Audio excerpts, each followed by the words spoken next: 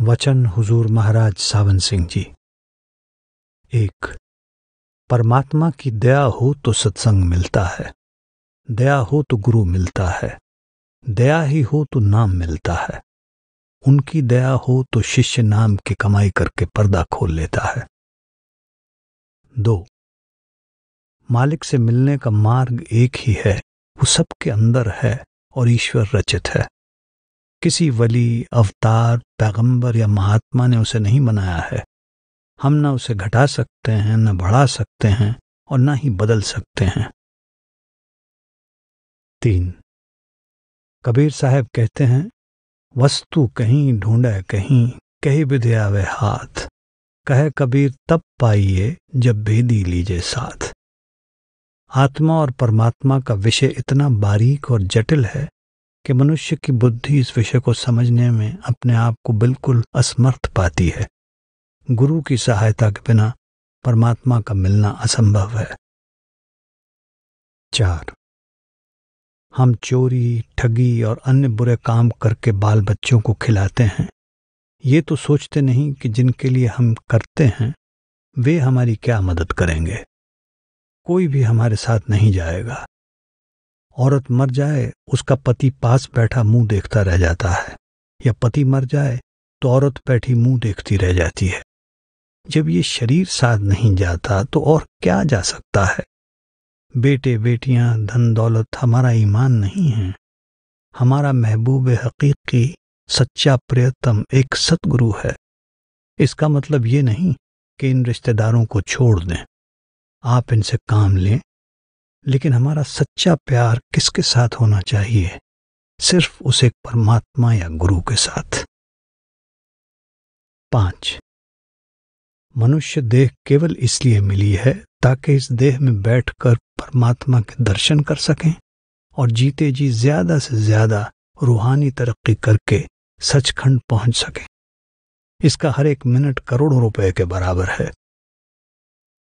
छ जब ज़िंदगी का मकसद निश्चित हो जाता है और उसको प्राप्त करने का साधन भी मालूम हो जाता है तो बुद्धिमान व्यक्ति हर अवसर और अवकाश की हर घड़ी से लाभ उठाकर अपने लक्ष्य की ओर बढ़ने का प्रयत्न करता है। सात। काया वही सुंदर है जिसमें सुरत अपने पति, परिपूर्ण कुल मालिक, भाव, शब्द या नाम के साथ वास कर रही हो। उस सच्चे पति के साथ मिलाप करने पर इसका सुहाग सदा के लिए कायम हो जाता है। फिर शरीर छूटे या रहे, इसकी कोई चिंता नहीं रहती। आठ। दुनिया की दौलत प्राप्त करने के लिए तुम लड़ाइयों में जाते हो, वो धन बाल बच्चों की सेवा में खर्च करते हो, वे बाल बच्चे साथ नहीं जाते। अगर इसका दसवां भाग भी गुरु की सेवा में खर्च करो तो तुम्हारा जन्म सफल हो जाए। नौ। यह संसार संघर्ष का क्षेत्र है। यहाँ कभी न शांति रही है और न कभी रहेगी ही।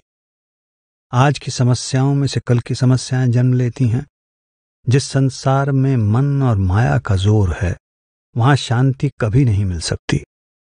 शांति पाने के लिए आत्मा को रूहानी मंडलों की खोज करनी होगी। शांति की खोज करना हर व्यक्ति का अपना काम है। दस। दुनिया फकीरों से माया के भोग और पदार्थ मांगती है, जबकि फकीरों से हमें ऊँचे रूहानी मंडलों की यात्रा का तरीका और उस यात्रा के लिए सहायता मांगनी चाहिए, जिससे कि हम इस दुनिया की तकलीफों तथा आवागमन के चक्कर से छुटकारा पा सकें। ग्यारह। धर्म मनुष्य के लिए हैं, मनुष्य धर्मों के लिए नहीं। सब ग्रंथ पुस्तकें मनुष्य के अंदर से आई हैं। पर असली भेद मनुष्य के अंदर है। किताबों में उस भेद का उल्लेख है, वो भेद नहीं। जब तक किसी महात्मा से मार्गदर्शन पाकर हम अंदर नहीं जाते, उन भेदों को नहीं पा सकते। मनुष्य अपने आप ग्रंथ पोथियों को पढ़ता है और तत्व की व्याख्या भी करता है, पर स्वयं तत्व से वंचित रह जाता है। बारह। प्रत्येक इल्म के बारे में मनुष्य जानता है पर अपनी आत्मा के बारे में, जिसके सहारे सब विद्याओं की प्राप्ति होती है, जिसके आधार पर मन बुद्धि का सब कारोबार चल रहा है, वो कुछ नहीं जानता। तेरह। संत कहते हैं कि पराई मजदूरी करके पराए गधे न बनो, बल्कि अपना काम करो, जो आगे आपके काम आए। चौदह।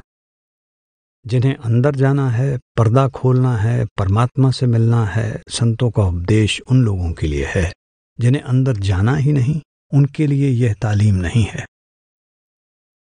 पंद्रह। संतों का वास्तव में एक ही संदेश या उपदेश होता है। वे कहते हैं, हे आत्मा, तू अपने असली घर को भूल गई है।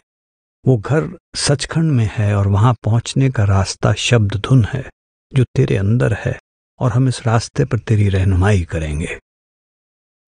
सोलह।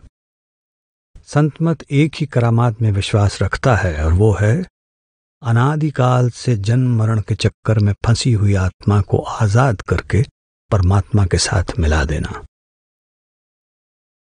सत्रह। संत कहते हैं कि भाई, तेरे अंदर सुरत है, तेरे अंदर ही शब्द है ब्रह्म, पार ब्रह्म, खुद खुदा भी तेरे अंदर है। घर में ही सब कुछ होते हुए तू भूखा मरता है। जिसके घर में करोड़ रुपया दबा हुआ हो, लेकिन वो बाहर कौड़ी कौड़ी माँगता फिरे, क्या आप उसे पागल ना कहेंगे? यही हाल हमारा है। जरा गौर करके देखो। अठारह। संत महात्मा हमें पुकार पुकार कर कहते हैं कि ये देश तेरा देश नहीं ये कौम तेरी कौम नहीं, ये धर्म तेरे धर्म नहीं। तेरा देश सचखंड है, तेरी कौम सतनाम है, तेरा धर्म सतपुरुष है। परंतु जिस तरह मोरी के कीड़े बाग की हवा को पसंद नहीं करते, इसी तरह हम भी लौट लौट कर इस गंदे देश में रहना चाहते हैं। उन्नीस। बिना संतों के रास्ता नहीं मिलता। संत इस दुनिया में परमार्थ के बादशाह हैं। जो कोई सचखंड गया है, संतों के ज़रिए गया है। बीस। संत जीवों के पाप नहीं देखते। अगर वे हमारे कर्मों की ओर देखें तो कोई भी जीव उनके पास ठहरने के लायक नहीं है। इक्कीस। अगर मनुष्य इस सर्वव्यापी शब्द, यानी परमात्मा से लाभ उठा सकता, या सर्वव्यापी शब्द, यानी परमात्मा, सीधे मनुष्य की सहायता कर सकता होता तो संत महात्माओं को किसी भी समय में जीवों के उद्धार के लिए मनुष्य देह धारण करके उनके बीच आने की ज़रूरत नहीं पड़ती। लेकिन अगर किसी और समय में महात्मा को देह धारण करने की ज़रूरत थी तो वही ज़रूरत आज भी है। बाईस। संत अगर चाहें तो अपनी शक्ति दूसरों को भी दे सकते हैं। वे वचन, स्पर्श या दृष्टि के द्वारा अपनी शक्ति का उपयोग कर सकते हैं। तेईस। जो लोग संतों की हुजूरी में रहते हैं, उनके लिए बड़ी सावधानी से रहना ज़रूरी है। यदि वे संतों पर मनुष्य भाव कभी न लाएँ तो उनका बेड़ा पार हो जाता है। चौबीस। संत ये नहीं कहते कि गृहस्थ अच्छा और त्याग बुरा है, बल्कि अगर ये त्यागी बने तो पूरा बने। अगर त्यागी बन गया, फिर गृहस्थियों का आसरा क्यों? लज्जत ना गृहस्थ में है, ना त्याग में। लज्जत नाम में है, नाम इसके अंदर है। अगर एक बार अंदर पर्दा खुल जाए, नाम की लज्जत आ जाए, फिर चाहे गृहस्थ में रहे, चाहे त्याग में। पच्चीस। संत कहते हैं, भाई, करनी करो, लेकिन सतगुरु की दया का आसरा लेकर। छब्बीस। नाम बड़ी अनमोल चीज़ है। अगर सीस देकर भी मिल जाए तो भी सस्ती है। सत्ताईस। नाम जपने वाले के पास तो यमदूत भी नहीं आ सकते। उसके निकट भूत, प्रेत और जादू टोना कैसे आएगा? अट्ठाईस। जब तक ध्यान शब्द धुन से नहीं जुड़ता, तब तक मनुष्य भार ढोने वाले जानवर की तरह काम कर रहा है और उसे कभी भी शांति नहीं मिल सकती। उनतीस। सिवाय नाम के कोई कर्म नहीं, जो बंधनों से आज़ाद कर सके। अगर मुक्ति है तो नाम में है। तीस। अगर अंदर की लज्जत लेनी है, नाम का रस लेना है तो शराबों, कबाबों, दुनिया के भोगों से नफरत करो। जितने ऐशो इशरत हैं, उतने ही दुख। जितने भोग उतनी ही बीमारियाँ। इकतीस। हम दुनिया के कामों में दस बारह घंटे बल्कि चौदह घंटे भी दे देते हैं, परंतु नाम की ओर घंटा, दो घंटे भी नहीं लगाते। बत्तीस। यूँ तो सारी दुनिया परमात्मा की बनाई हुई है। मनमुख भी उसके बनाए हुए हैं, पापी भी उसके बनाए हुए हैं, और पुण्य आत्माएँ भी। लेकिन जो नाम की कमाई करते हैं वे उसकी दरगाह में जाते हैं, बाकी नहीं। तैतीस। शब्द धुन के लिए जितना अधिक हमारा प्रेम होगा, उतनी ही अधिक हमें शांति मिलेगी और हमारी रूहानी उन्नति होगी। चौतीस। सारे जपों का जप, सारे तपों का तप, संपूर्ण संयमों का संयम, संपूर्ण पवित्रता या शुद्धता का निचोड़, भाव ये कि जो कुछ भी है, वो नाम ही है। पैंतीस। नाम की महिमा करने के लिए संतों को लफ्ज नहीं मिलते, क्योंकि उसका नमूना दुनिया में है ही नहीं। हम अल्लाह, परमेश्वर आदि लफ्जों को नाम समझते हैं, परंतु लफ्ज नाम नहीं। दुनिया लफ्जों में ही उलझ कर रह गई। लफ्ज सिर्फ़ आत्मा को नाम के साथ जोड़ने के लिए हैं समझाने बुझाने के लिए हैं। लफ्ज नाम नहीं। छत्तीस। सच्चा कीर्तन यानी शब्द सबके अंदर हर वक्त हो रहा है। वो अखंड कीर्तन है। सब सो जाते हैं, वो नहीं सोता। वो अखंड कीर्तन हमारे अंदर है, लेकिन वो मिलता नहीं। बड़े श्रेष्ठ भाग हों तो मिलता है। वो गुरु की कृपा से मिलता है। सैतीस। यदि सात द्वीपों और सात समुद्रों का सोना निकाल कर ढेर लगा दें और मालिक के प्यारों से पूछें कि सोना लेना है अथवा नाम तो वे कहते हैं कि हमें नाम ही चाहिए। अड़तीस। मन लज्जत का आशिक है और करोड़ों जन्मों से बाहर दुनिया के स्वाद लेता आ रहा है। ये विषय विकारों, सांसारिक भोगों और पदार्थों का प्रेमी है और उनसे कभी तृप्त नहीं होता। जब मन नाम की लज्जत ले लेता है, तब वो कैद हो जाता है। मन को वश में करने की सारे संसार के लिए एक ही दवा है। यदि कोई उसे नहीं लेता तो ये उसकी अपनी लापरवाही है। उनतालीस। अगर नौ द्वारों से निकलकर आगे दसवीं गली में जाएँ तो वहाँ न कोई भाषा है, न धर्म। वहाँ केवल नाम है। जिसे सुनकर काम, क्रोध, लोभ, मोह आदि वश में आ जाते हैं। किसी मज़हब, कौम या देश से राग द्वेष नहीं रहता। संत उस नाम की महिमा करते हैं। यदि ये अंतर्मुख होकर अपनी सूरत को नाम के साथ जोड़ ले तो इसका जन्म मरण समाप्त हो जाएगा और जन्मों जन्मों से बिछड़ी हुई आत्मा परमात्मा से मिलकर सुहागन हो जाएगी। चालीस। जब तुम इस संसार से जाओगे, उस समय तुम्हारे साथ कुछ नहीं जाएगा। साथ जाने वाली केवल दो चीज़ें हैं, एक सतगुरु और दूसरा नाम। नाम आपके अंदर है और उसका भेद सतगुरु से मिलता है। इकतालीस। गुरु से गुरु मांगो या परमेश्वर? गुरु से सचखंड के अलावा कोई दूसरी चीज़ नहीं मांगनी चाहिए। बयालीस। गुरु से बढ़कर इस संसार में हमारा कोई सहायक नहीं। गुरु के सिवाय खंडों ब्रह्मांडों पर हमें कोई नहीं ले जा सकता। बस गुरु के तुल्य गुरु ही है। तैतालीस। गुरु का नूरी स्वरूप इतना मनमोहक होता है, उसमें इतनी कशिश होती है कि सूरत अपने आप ही खिंची चली जाती है और उसमें समा जाती है। अगर कोई अभ्यासी इसी ज़िंदगी में गुरु के नूरी स्वरूप का दर्शन कर लेता है तो उसे अपने को भाग्यशाली समझना चाहिए। चवालीस। गुरु की सबसे उत्तम सेवा यह है कि शिष्य गुरु के उपदेश का पालन करे। पैतालीस। इस जीवन में पूरे गुरु के मिलाप से बड़ी और कोई बात नहीं है, क्योंकि गुरु मिलने के बाद जन्म मरण के चक्कर में फिर वापस नहीं आना पड़ता। छियालीस। आंतरिक गुरु सदा आपके साथ है, जो भीतरी दरवाजे पर आपके पहुँचने पर आपका स्वागत करने के लिए बड़ी उत्सुकता के साथ इंतज़ार कर रहा है। सैतालीस। जब आप सतगुरु के नूरी स्वरूप के दर्शन कर लेंगे, तब आपको गुरु हर जगह नज़र आएगा। और आपका मन इतना शक्तिशाली हो जाएगा कि दूसरों की कमियों को देखकर उन्हें दोषी ठहराना आपके लिए प्राय असंभव हो जाएगा। अड़तालीस। गुरु को उनके सेवक अपने बच्चों से भी अधिक प्यारे होते हैं। बाल बच्चे तो उनकी सांसारिक धन दौलत के हकदार होते हैं, लेकिन सत्संगी उनकी रूहानी दौलत के हकदार होते हैं। उनचास। नामदान के चुनाव में गुरु कभी भी गलती नहीं करता।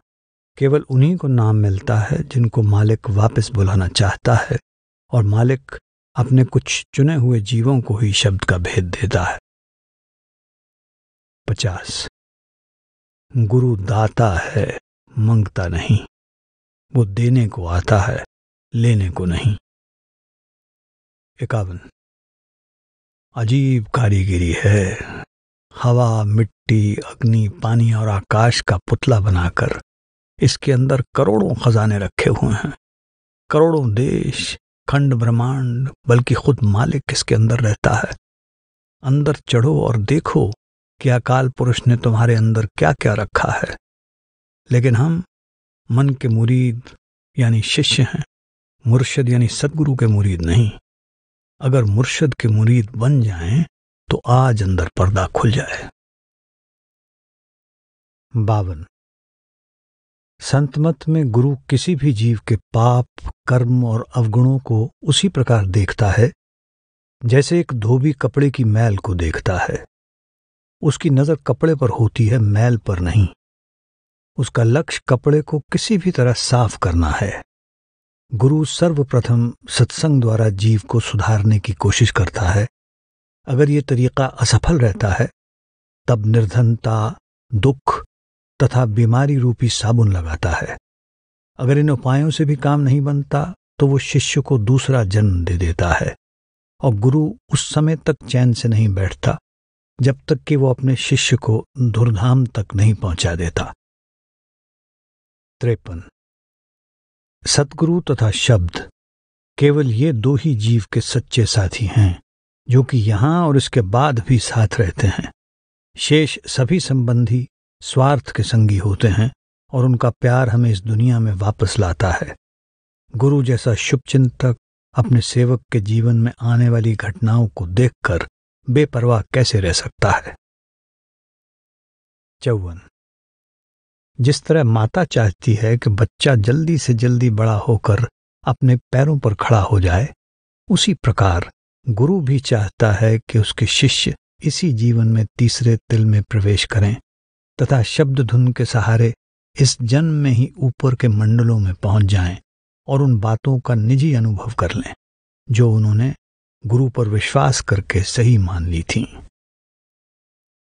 पचपन।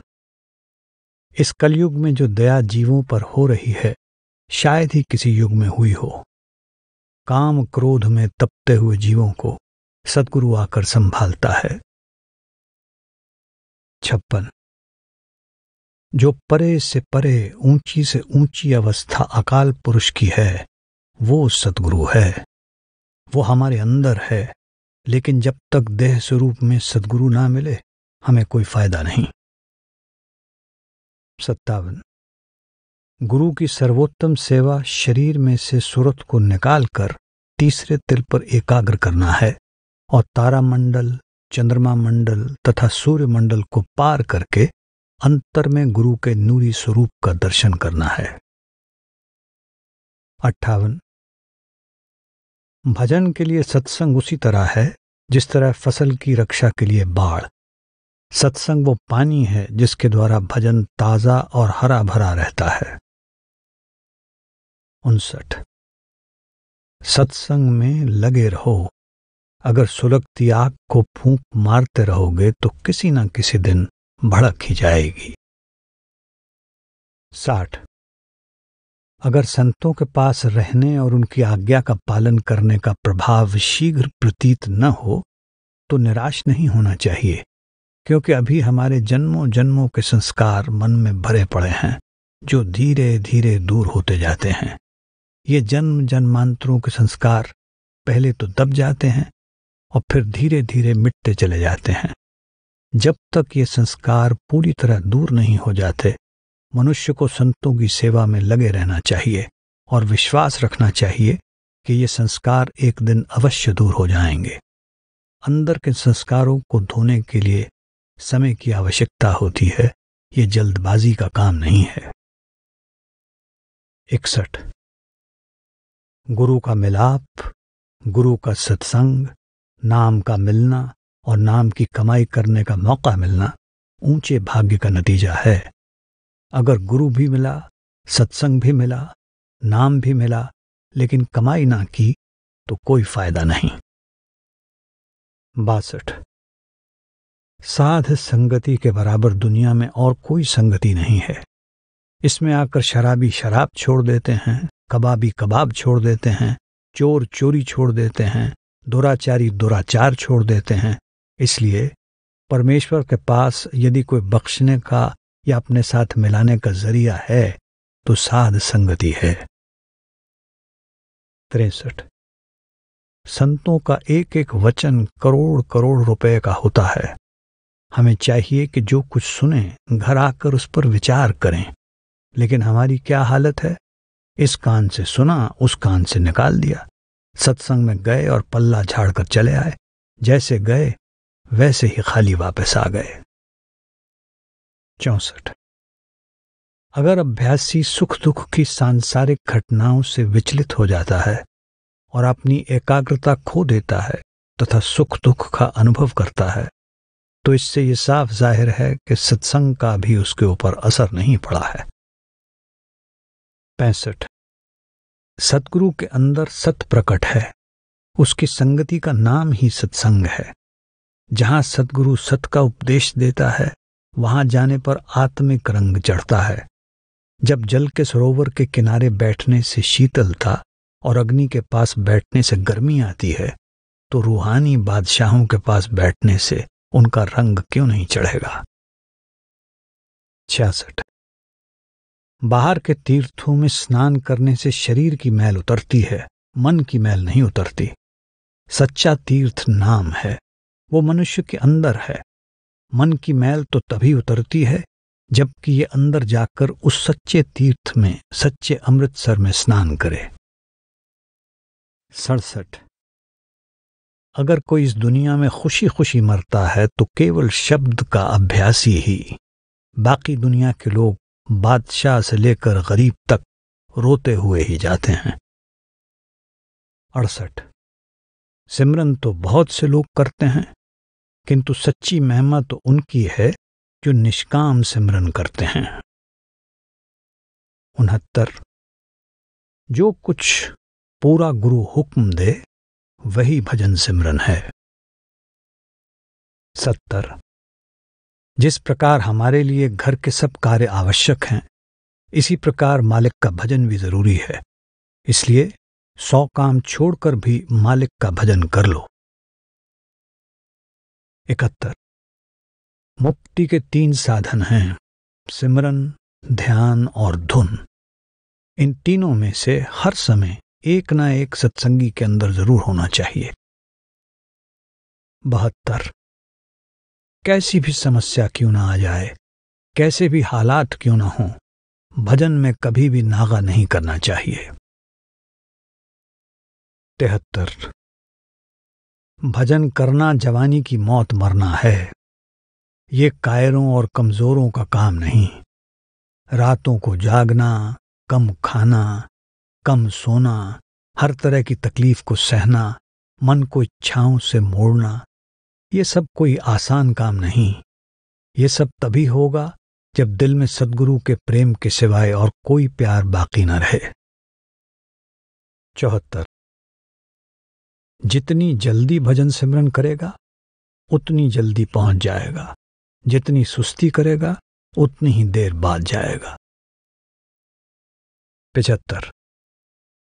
अगर सत्संगी का विश्वास अटूट और अटल है और वो प्रतिदिन भजन में समय देता है और उसे कोई सांसारिक इच्छा नहीं है, तब कोई भी ऐसी शक्ति नहीं है जो उसे संसार में वापस लाए।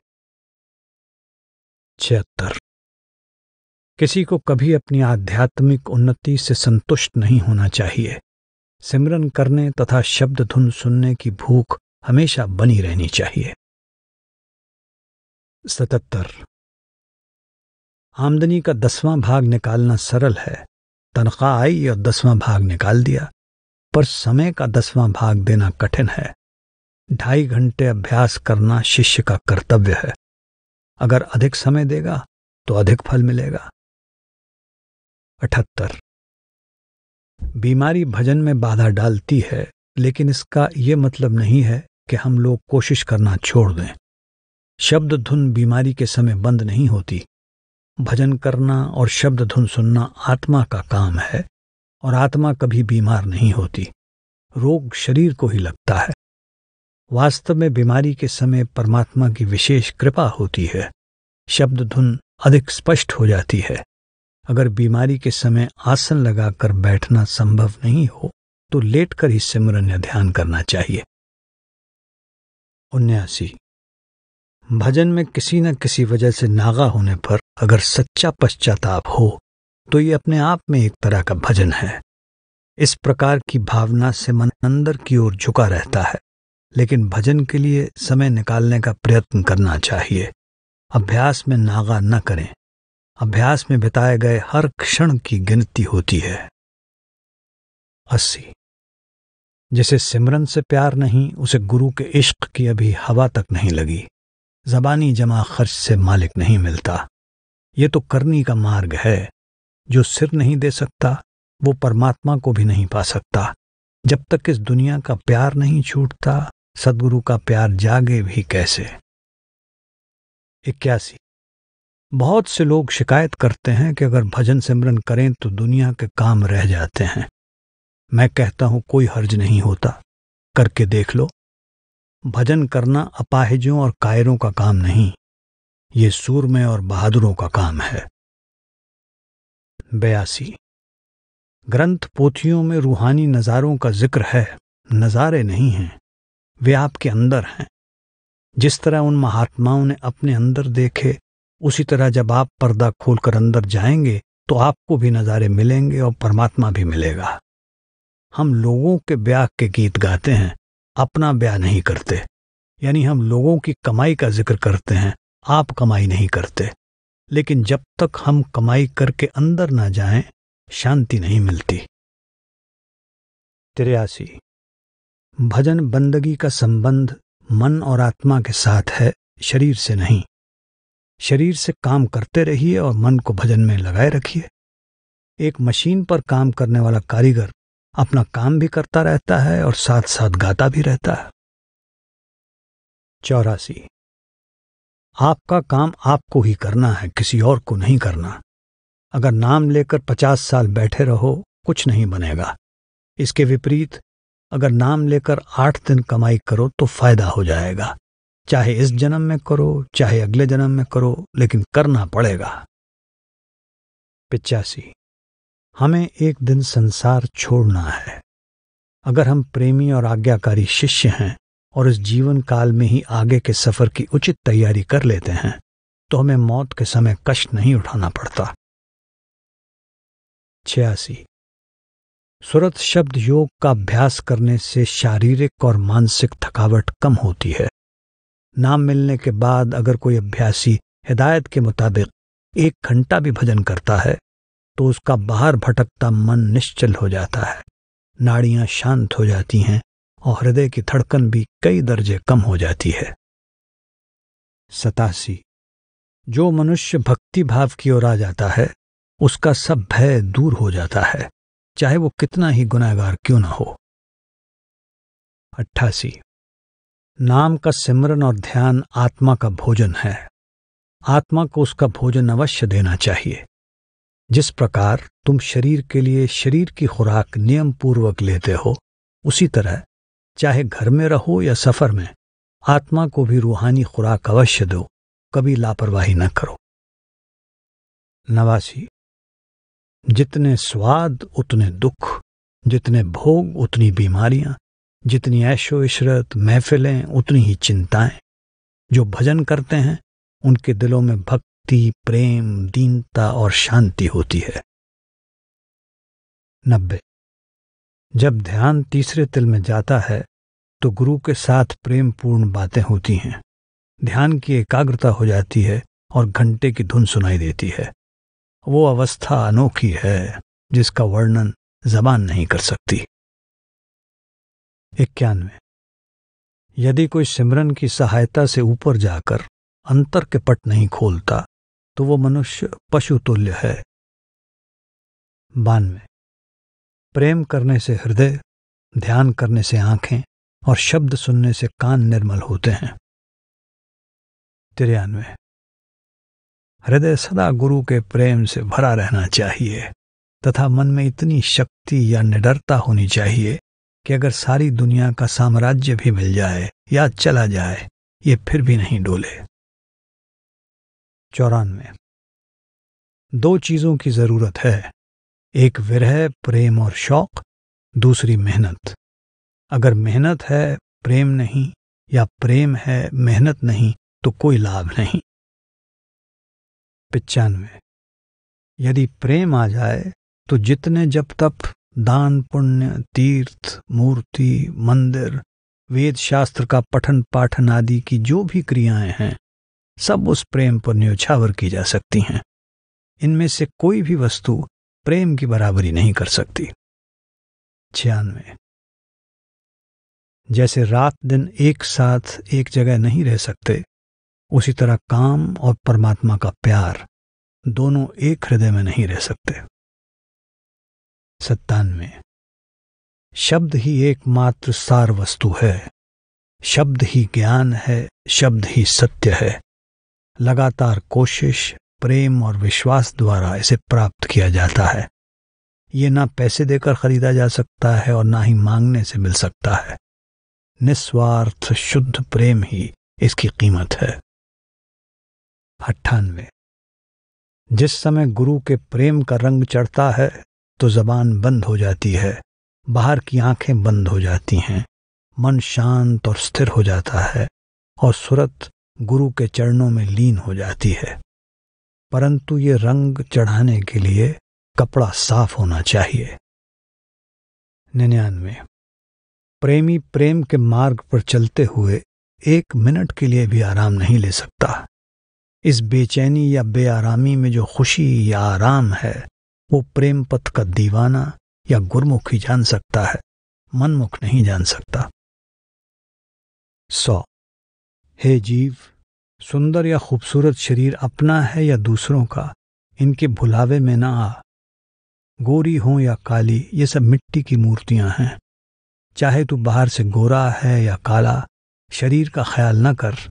ये तो एक कपड़ा है जो यहीं से लिया है और यहीं छोड़ जाना है। तो ऊँचा प्रेम पैदा कर, ऊँचा इश्क पैदा कर।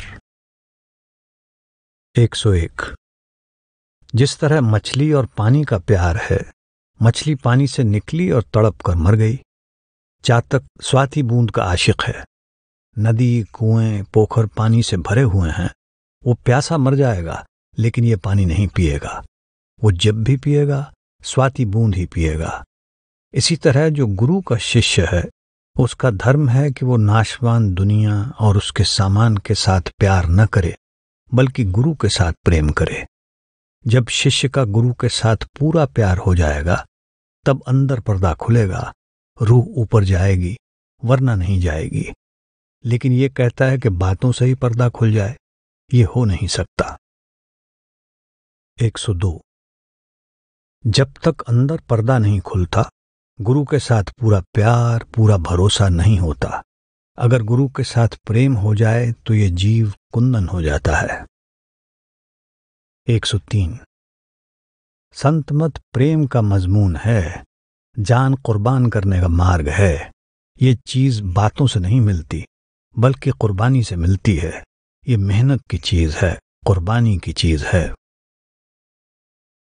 104 जो मनुष्य संसार के सुखों में रमे हुए हैं, उनका प्रेम शरीर और शरीर के संबंधों के विष से भरा हुआ है। उनका प्यार आपको शुद्ध प्रेम की लगन नहीं दे सकता। दुनिया के रंग में रंगी उनकी प्रीति आपको दुनिया के रंग में रंग देगी। मालिक के रंग में कभी नहीं।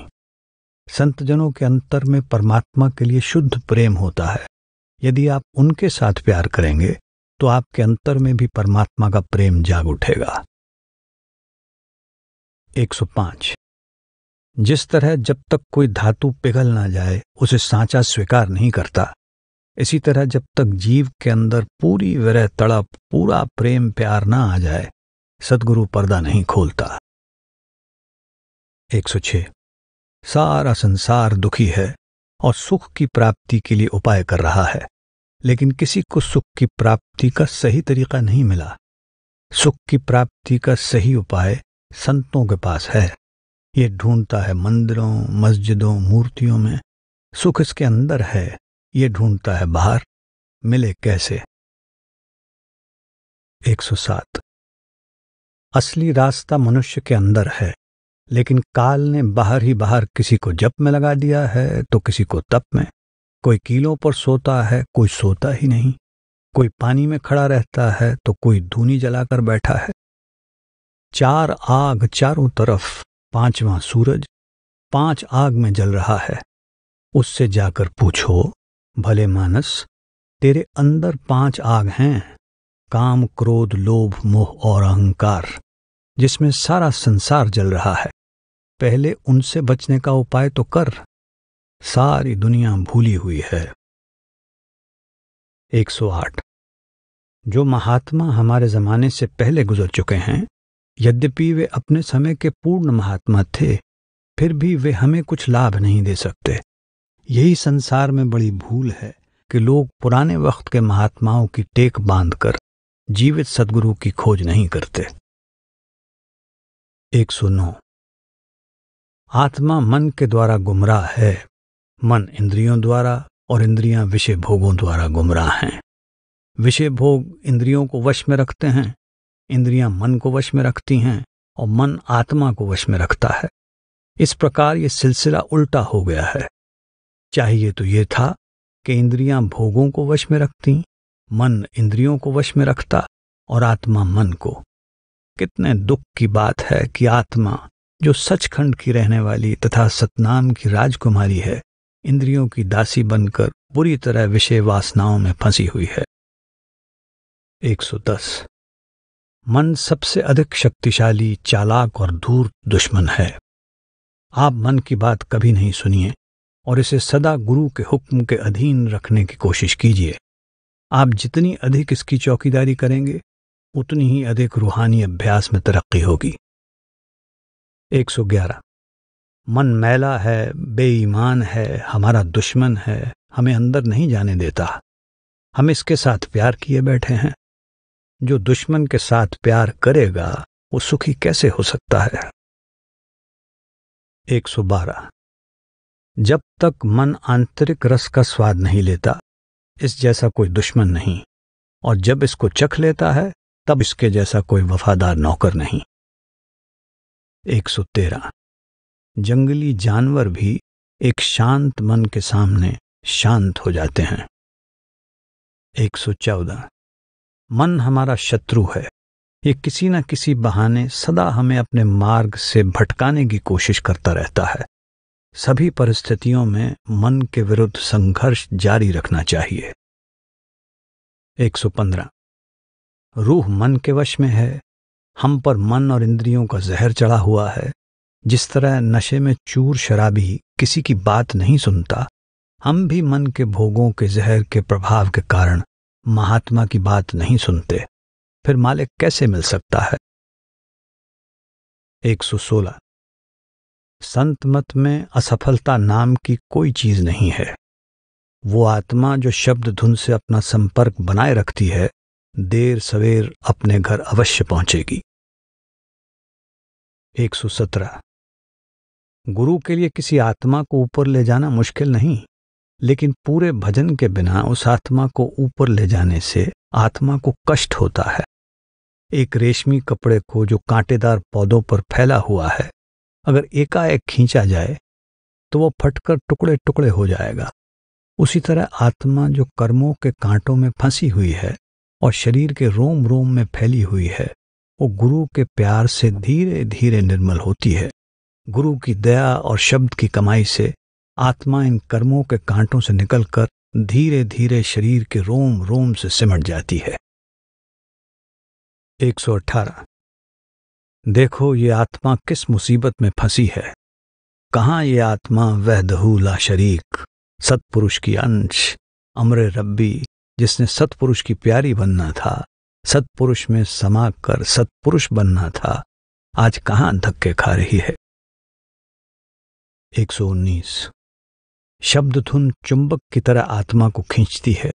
अगर आत्मा के ऊपर मन और माया का जंग न लगा हो तो आत्मा बंदूक की गोली के समान ऊपर चढ़ जाती है।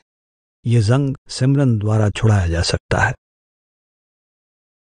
120 बहुत सी ऐसी रूहें हैं जिन्होंने नाम तो लिया हुआ है, लेकिन कमाई नहीं करती। उन्हें मन अंदर नहीं जाने देता। वे बाहर ही हाय हाय करती हैं। विचार करें, जब आप दुनिया के काम करते हैं, पेट के लिए रात को समय असमय जागते हैं तोपों के सामने खड़े होते हैं। तो क्या भजन ही ऐसा कठिन है जो नहीं हो सकता? असली बात यह है कि मन आपका दुश्मन है जो भजन नहीं करने देता। मगर यदि कोई दुश्मन का कहना माने तो क्या वो जीने देगा? कभी नहीं। 121 जब आत्मा इस संसार में आती है तो इसे हम जीव का जन्मदिन कहते हैं। पर वास्तव में वो आत्मा स्थूल शरीर रूपी कब्र में कैद हो जाती है। इसलिए ये कहना ज़्यादा उचित होगा कि यह जीवात्मा का मौत का दिन है। जब जीव संतों की शरण में आता है, नाम प्राप्त करता है और नाम से रिश्ता जोड़ता है, तब आत्मा शरीर रूपी कब्र से बाहर निकलती है। इसलिए यह कहना उचित होगा कि संतों से नाम की बख्शिश पाने के बाद उसका जन्म या पुनर्जन्म हुआ है। नाम लेने का दिन ही जीव का असली जन्मदिन है। 122 कोई भी जीव जो मन और माया के अधीन है, कर्म किए बिना रह नहीं सकता। और कर्मों का नियम, जैसा बो, वैसा काटो, उस पर लागू रहता है। जितने अधिक कर्म कोई जीव करता है, उतना ही अधिक जंजाल बढ़ता जाता है। जैसे जब कोई पक्षी जाल से निकलने के लिए संघर्ष करता है, तब वो और अधिक उलझता जाता है। 123 दुनिया का काम करते हुए अपना काम यानी भजन सिमरन भी करते जाएँ, जो कि हमारे साथ जाएगा। इसके विपरीत दुनिया के जितने भी काम करेंगे वे यहीं रह जाएँगे।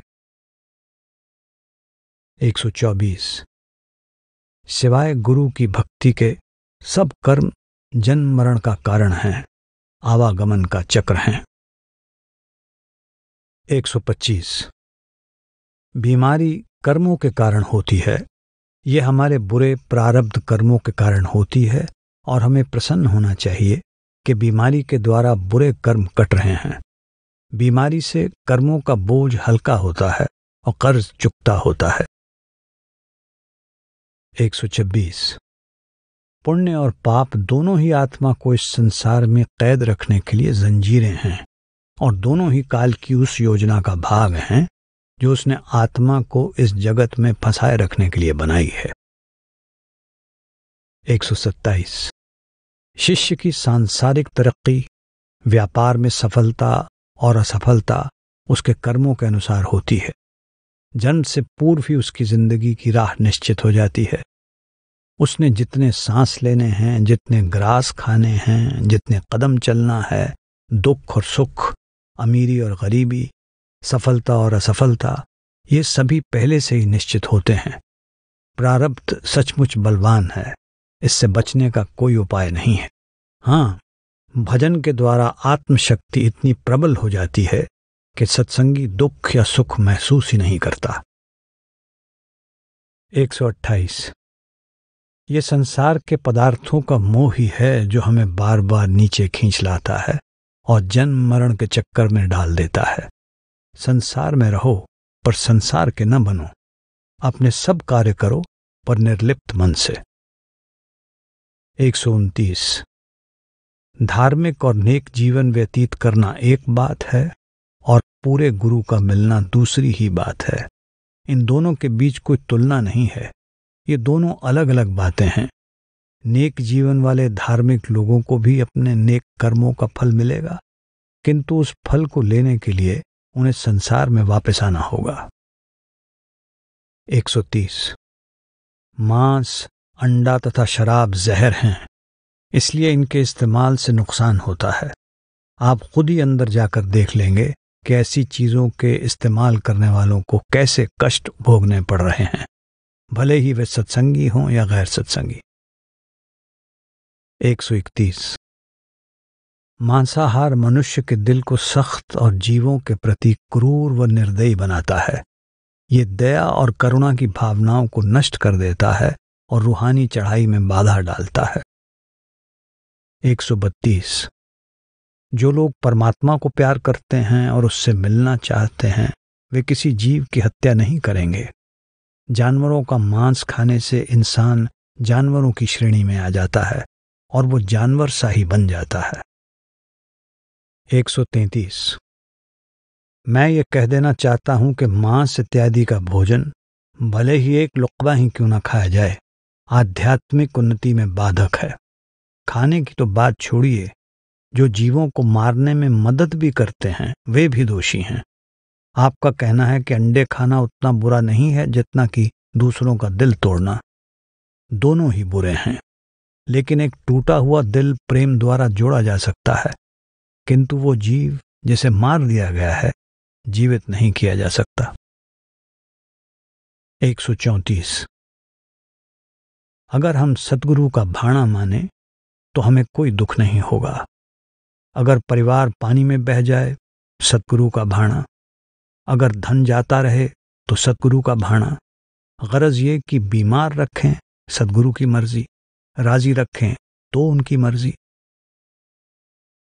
135 ऊँचे से ऊँचा भजन, ऊँचे से ऊँची रहनी और मालिक की बड़ी से बड़ी कृपा क्या है? ये कि हम उसके हुक्म में रहकर उसका भजन करें। वो चाहे दर दर भीख मंगाए, चाहे राज कराए, नंगा रखे, भूखा रखे, हम उसके भजन को ना छोड़ें और राज़ी बा रजा रहें, उसकी मौज में प्रसन्न रहें। अगर इस अवस्था में आ जाएँ तो कोई दुख नहीं। 136 बड़ी बात तो यह है कि गुरु के हुक्म को और मन के हुक्म को सामने रखो, फिर देखो मन किधर जाता है। अगर गुरु के हुक्म पर दृढ़ रहो तो समझो कि मन को जीत लिया। अगर मन के वश में आ गया, फिर समझो हार गया। लेकिन ऐसा कहना आसान है। रोज रोज मन की तरंगों को देखते रहो। जिस मनुष्य ने मन की चौकीदारी कर ली, वो महात्मा बन गया। एक सौ सैतीस। भजन सिमरन चाहे थोड़ा ही हो, गुरु का प्यार पूरा पूरा होना चाहिए। शिष्य को चाहिए कि अपने आप को सदगुरु के हवाले कर दे। वे जो हुक्म दें, उसका पालन करे, उसमें मन दखल न दे। एक सौ अड़तीस।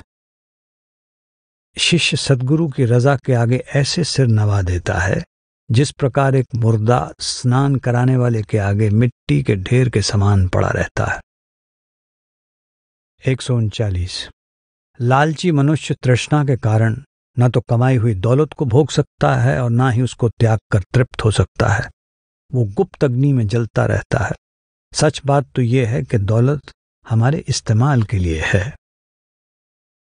140 मेहनत से कमाए हुए धन से खरीदी हुई सब्ज़ी और अनाज आदि से सात्विक भोजन तैयार करना चाहिए। खाना बनाने वाला भी सात्विक स्वभाव का हो। उस सात्विक स्वभाव का असर भोजन और उसके खाने वाले पर होता है। ऐसे आहार के खाने से मन शांत होगा और चित्त मालिक की याद में रहना चाहेगा। 141 कड़वे वचन सबसे बुरे हैं। इनके कारण सैकड़ों लड़ाइयाँ हुई, झगड़े हुए। कोई बिरला गुरमुखी कड़वे वचन सहन कर सकता है। कबीर साहब कहते हैं, बोल को बोल साधु से है, अवर्त सहा न जाए। किंतु गुरमुख के वचन जल के समान शीतल होते हैं। जब भी बरसेंगे, अमृत के समान प्रभाव डालेंगे। एक सौ बयालीस। हमारे अंदर ये शक्ति होनी चाहिए कि जब चाहे मन सांसारिक काम करे और जब चाहे ये स्थिर हो जाए।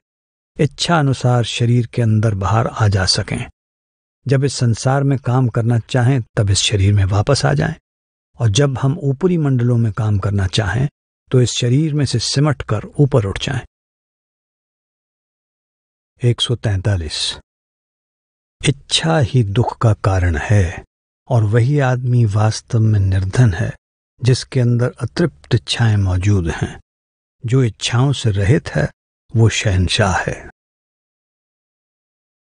144 ये संसार मोह माया से भरपूर एक सघन वन है, जहाँ पर बहुत घनी आबादी है, और सभी अपनी अपनी राह भूल कर बिना किसी मकसद के जन्मों जन्मों से भटक रहे हैं।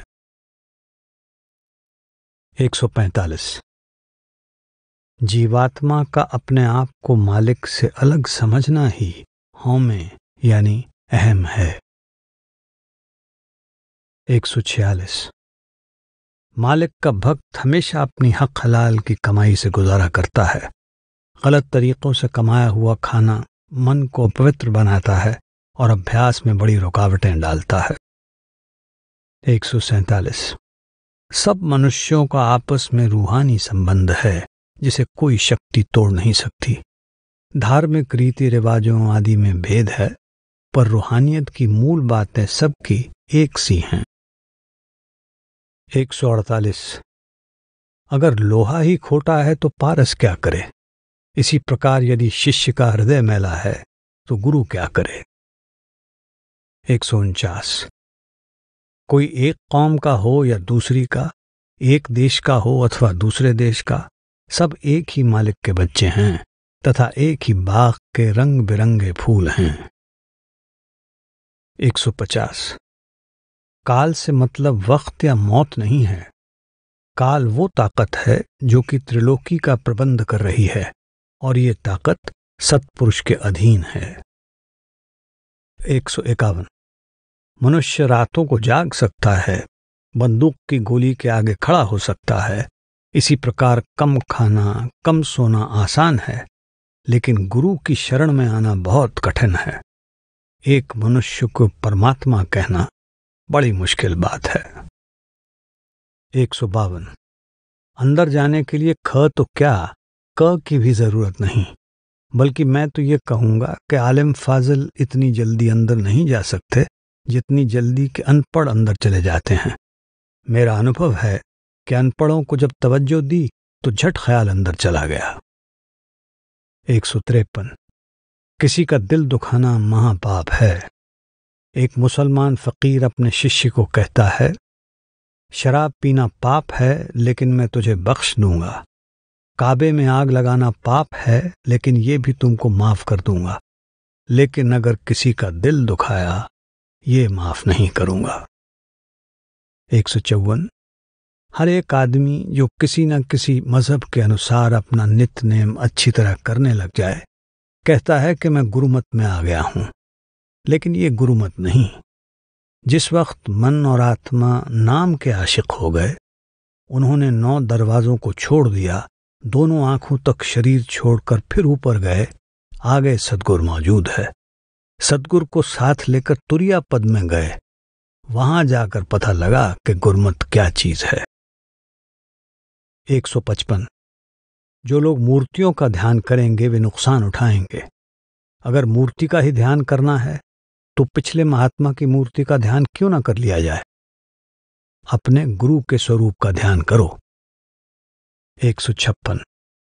अगर कोई गुरु की निंदा करे तो आप वहाँ से चुपचाप उठकर चले जाओ। रही अपनी निंदा। आप ना निंदा में नाराज़ हो, न स्तुति में खुश। एक सौ सत्तावन। आंतरिक आनंद न खरीदा जा सकता है और न मांगने से ही मिल सकता है। मेहनत कीजिए, अपनी चेतना को समेट लीजिए, ऊपर जाइए, आपको ये मिल जाएगा। एक सौ अट्ठावन। सच्चे आनंद का भंडार मनुष्य के अंदर है। एक सौ उनसठ। जब आप अज्ञानता का पर्दा चीर कर, यानी नौ द्वारों को छोड़कर ऊपर की ओर जाते हैं, तब इस संसार का सुख वहाँ के आनंद के मुकाबले में बड़ा ही तुच्छ और नीरस प्रतीत होता है। 160 दुनिया के लोगों का बहुत बड़ा हिस्सा ऐसा है, जो परमार्थ तो कमाना चाहता है, लेकिन लोक लाज और दुनिया के संकोच के कारण संत महात्माओं के पास नहीं जाता, उनका सत्संग नहीं सुनता। इसका मतलब यह है कि वो दुनिया को बड़ा मानता है और परमार्थ सतगुरु और परमेश्वर को छोटा। 161 इंसान कमजोरियों का पुतला है और इन कमजोरियों का ज्ञान होना तब शुरू होता है जब सुरत शब्द योग का अभ्यास शुरू किया जाता है। कमजोरियाँ नाना प्रकार के रूप में सामने आने लगती हैं और एकाग्रता में विघ्न पहुंचाती हैं। परंतु गुरु की कृपा और शब्द की शक्ति से इन पर काबू पाया जा सकता है। सुरत शब्द के अभ्यास से इन कमजोरियों की जगह एक नई शक्ति जन्म लेती है और इंद्रियाँ वश में आ जाती हैं। फिर इंसान को इस दुनिया में अंधे की तरह भटकना नहीं पड़ता। एक सौ बासठ। संत जानते हैं कि इंसान बहुत निर्बल है। वे इसे धीरे धीरे बलवान बनाते हैं। वे पहले जीव को नाम के संपर्क में लाते हैं उसके अंदर एक छोटी सी चिंगारी जला दी जाती है। जीव इस पर कुछ ध्यान देता है, समय बीतता जाता है। कुछ तो ठोकरों, यानी बीमारी, परिवार में मृत्यु, रुपए का अभाव मान्यत को ठेस के कारण, कुछ उम्र के कारण, कुछ सत्संग के द्वारा, कुछ प्रारब्ध कर्मों के भुगतान हो जाने के कारण और कुछ नाम भक्ति के द्वारा, उसका ध्यान धीरे धीरे दुनिया से हटता जाता है। इस तरह वे अपने जीवन के अंत तक ऊपर तरक्की करने और नाम के साथ पूरी तरह जुड़ने के लिए तैयार हो जाता है। एक सौ तिरसठ। रूह रूपी तोता शरीर रूपी पिंजरे में बैठा हुआ दुनिया की बोलियाँ बोलता है। जब ये अंदर तवज्जो देगा, अंदर शब्द का अमृत पिएगा, मन इंद्रियाँ वश में आ जाएँगी, ये पिंजरा टूट जाएगा और तोता सदा के लिए मुक्त हो जाएगा। एक सौ चौसठ। पवित्र आचरण ही आध्यात्मिक महल की नींव है। जब तक हम भोगों के गुलाम हैं, तब तक परमार्थ के बारे में बातें धोखा हैं। चुंबक चमकते हुए लोहे को आकर्षित करेगा, ना कि जंग लगे हुए लोहे को। एक सौ पैंसठ। हमेशा याद रखें कि मृत्यु हमारी ओर बढ़ रही है और हमें एक एक सांस का हिसाब देना पड़ेगा। एक सौ छियासठ। प्रेमी का प्रीतम से प्रेम इसी में है कि वो उसकी रजा और हुक्म में कोई आनाकानी ना करे।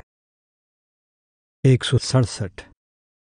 सच्ची भक्ति और वाहेगुरु यानी परमेश्वर की प्राप्ति मनुष्य जन्म में ही हो सकती है। एक सौ अड़सठ। जब जीव नाम रूपी अमृत को पिएगा, तब वो मैं मैं नहीं करेगा, बल्कि तू ही तू ही कहेगा। ये अमृत हर एक मनुष्य के अंतर में बरस रहा है। ये अमृत सदाचारी पुरुषों के अंदर ही नहीं, बल्कि चोरों, ठगों, बदमाशों और पाप करने वालों के अंदर भी है। वो अमृत माया पी जाती है, काम क्रोध पी जाते हैं। एक सौ उनहत्तर। रूह मालिक की अंश है। सभी जीव एक ही नूर से उपजे हैं, तथा उसी का नूर सबके अंदर चमक रहा है। फिर इनमें कौन बुरा है और कौन भला? जुज और कुल, अंश और अंशी में कोई भेद नहीं है। 170 हर तस्वीर के दो पहलू होते हैं, एक अगला और दूसरा पिछला। अगर सामने से देखें तो तस्वीर बहुत सुंदर और आकर्षक दिखाई देती है, परंतु यदि पिछली ओर देखें तो खाली कागज़ और गत्ता है। इसी प्रकार अगर दुनिया को खाते पीते ऐशो इशरत करते देखें तो बड़ी सुखी दिखाई देती है। पर यदि इसको यहाँ से कूच करते हुए देखें तो पता चलता है कि सब रोते हुए जाते हैं। एक सौ इकहत्तर। लैंप के प्रकाश में चोर चोरी करता है, भक्त भजन करता है, पर लैंप चोर को बुरा नहीं कहता, भक्त को शाबाशी नहीं देता। उसे तो प्रकाश देना है, वो दे रहा है। इसी प्रकार परमात्मा सब जगह मौजूद है, पर उसके सर्वव्यापी होने का लाभ तभी होगा जब आप पर्दा खोलकर अंदर जाएँगे। फिर वो आपकी बात सुनेगा, आपको प्रेम, प्यार व शांति प्रदान करेगा जन्म मरण का चक्कर मिटा देगा और शब्द के साथ मिला देगा। एक सौ बहत्तर। लक्ष्य सही होने पर थोड़ा सा परिश्रम भी व्यर्थ नहीं जाता। एक सौ तिहत्तर। अगर नाम की लज्जत आ जाए तो जीव जीते जी मुक्त हो जाता है। फिर ये नाम की मस्ती में मस्त रहता है। ना किसी के साथ कोई झगड़ा, ना फसाद। एक सौ चौहत्तर। ग्रंथ पोथियों को पढ़ना दर्शन शास्त्रों की चर्चा करना तथा प्रार्थना करना पानी को मथने के समान है, जिसके मथने से झाग के अलावा कुछ भी नहीं निकल सकता। अंदर जाना और शब्द के सहारे ऊपर चढ़ना दूध मथने के समान है, जिससे प्रभु प्रेम का मक्खन निकलता है। एक सौ पिछहत्तर जो अंदर की लज्जत, स्वाद, मिठास, प्रेम और खुशी है, उसका नमूना दुनिया में नहीं है। जबान में ताकत नहीं कि उसका बयान कर सके। जो अंदर जाता है, वो स्वाद लेता है, लेकिन बता नहीं सकता। ये गूँगे की मिठाई है जिस तरह गूँगे को मिठाई खिला दो तो वो क्या बयान करेगा? वो अचरज देश है, उसका आनंद भी अचरज है, स्वयं परमात्मा अचरज है, इसलिए वहाँ चुप रहना पड़ता है।